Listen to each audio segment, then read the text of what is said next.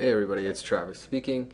So last time we took a look at creating parts in Autodesk Inventor and what we'd like to do today is take a look at creating a drawing file with those parts.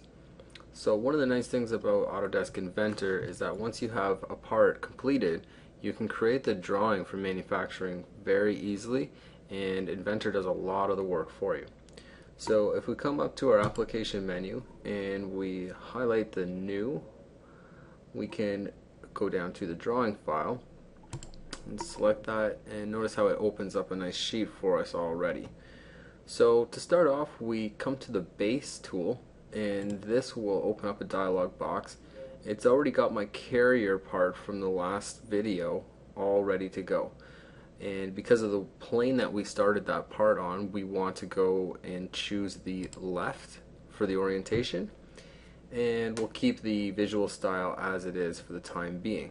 So just to give you an idea, before you hit OK, you'll already see your your base part. If I come back in and click back, you'll see what the base view is. So I'm going to go back to the left and I'm just going to hit OK once I've got that placed and I'm going to place a couple projected views. The projected views start automatically once you've placed your your base view. And so you can just come around on any angle and it projects that view for you. So these are all pretty straightforward. So I'm just going to do an isometric and this elevation on the side and then I'll right click and I'll hit create and notice how I have these two new views. So one of the great things that you can do in Inventor as well is come into the, the view and highlight it. So you'll see that when you hover over it you see a red dotted line bordering the part. And you right click and say retrieve dimensions. So if I select my view and then I hit the select dimensions notice how it brings up a number of dimensions that are inherent from my part model. So I'll just create a window and select all of these hit OK and now I've got some dimensions that I can edit afterwards. So I can grab these grips and make them so that you can see them. You can see that you can bring them out so it's more easily read. We'll do the same thing with these diameter dimensions as well. There you go. So I might want to make another view maybe I want a section. What I can do is using my my first base view if I click on the section it's going to ask me where I want to create my section lines so I can do that on a number of locations but I'm going to choose my my first base view. So it's asking me to create a section line. I'm going to use the center mark of that arc to create the section line and just draw a straight line now I define both points. I'll right click and say continue and it projects my new view. So if I zoom in, I'll just place that above and you'll notice that this is behaving as the same view. So I'll come and I'll retrieve the dimensions on this one as well. And I'll make a crossing window and select all those. And we can easily drag these dimensions out for a little bit easier read. Maybe I want to bring that 0.47 to the top and just pull this one outside as well.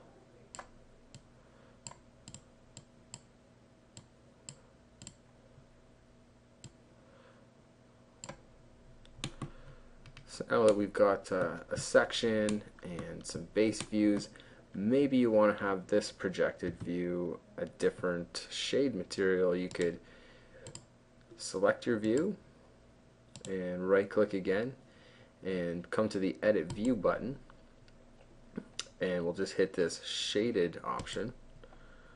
And then when we hit OK you'll see that we've got a different visual style. So there's some other things that you can do from the drawing ribbon. You can come to annotate and you can select specific dimensions from any of these views maybe we want the interior diameter plus our fillet So what you do is you select that part of the component that you would like by highlighting it and simply left click to say create and it brings that baseline dimension off of the part for you. You can also do things like change the dimension style. If we wanted to change this to an ANSI, we can come here to the default millimeter ANSI style and you'll notice that it aligns it with the dimension line and it changes the units. So I could select this one and do the same thing and you'll notice that it turns into a 12 millimeter.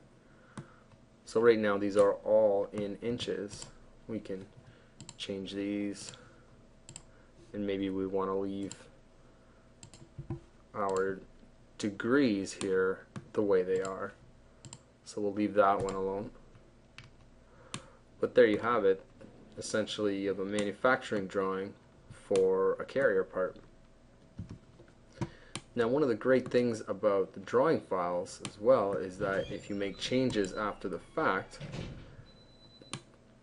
like for instance we could make a change to the fillet. So if I, just to show you again, if I select this fillet feature by highlighting it, I get the option to edit it. I'll click on that and now I can change all of these by selecting just the one and change that to a 2 millimeter fillet instead. And when I come back to my drawing file, you'll notice that that fillet has updated automatically. So that's a brief introduction to creating drawings with Autodesk Inventor. Thanks for watching.